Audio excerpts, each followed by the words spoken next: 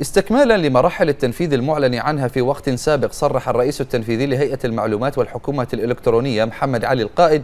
عن تعميم إصدار بطاقة الهوية الجديدة لتشمل كافة المواطنين البحرينيين سواء للخدمات المقدمة إلكترونيا أو من خلال مراكز تقديم الخدمة بمدينة عيسى والمحرق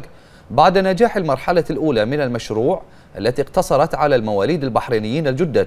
وشملت مرحلته الثانية لإصدار أعداد كبيرة من المواطنين البحرينيين عبر الطلبات الإلكترونية والمسار السريع وفرعي المحرق ومدينة عيسى للتأكد من جاهزية الإجراءات باستخدام جميع أنواع الطابعات في جميع الفروع دون أحداث خلل بالإصدار اليومي للبطاقة وإرباك الجمهور.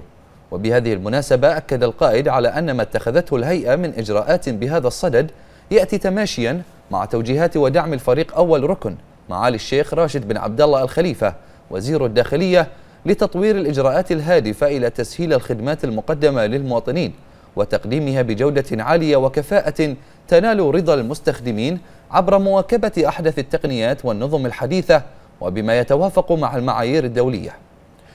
وأوضح القائد أن عملية تنفيذ المرحلة الثالثة جاءت بعد الانتهاء من الترتيبات الفنية والتقنية المتمثلة في تحديث الأنظمة ذات الصلة. كنظام إدارة الطباعة والنظام المركزي للسجل السكاني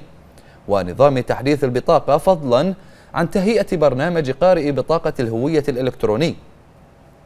إلى جانب تحققها من أجهزة الطباعة بما لا يؤثر على الإنجاز اليومي من إصدار البطاقة في مراكز الخدمة.